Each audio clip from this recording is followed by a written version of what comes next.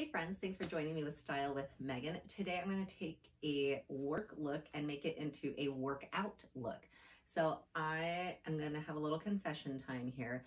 Um, I did yoga this morning in these same leggings and this same tank top and then I just threw on my white shirt. I know, are you guys sick of seeing this white shirt yet? Um, and then this black blazer that I have. Um, I also have my loafers on, my Dr. Scholl's loafers because I got to work and um, these are great for working in all day and staying on your feet and stuff.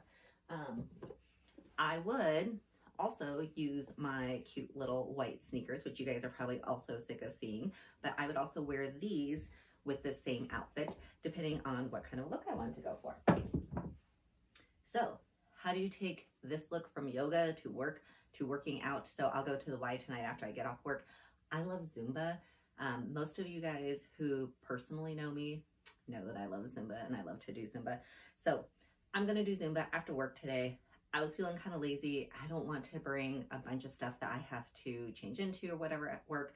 So I'm literally just going to take off my jacket and we're to take off my white button-up shirt here.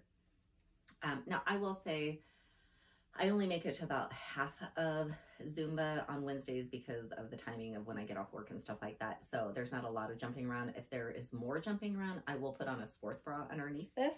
Um, also, don't judge my fat rolls because this is what you get. Um, and then I'm just going to put on my workout tank top, which, again, I already wore this morning to yoga because um, I don't really sweat in yoga. Well, sometimes. Sometimes she works this real hard. But normally, I don't sweat in yoga. So I will just do this. I will take off all my jewelry and everything. I usually leave my watch on because I like to track my fitness because I feel like it doesn't count if you don't track it.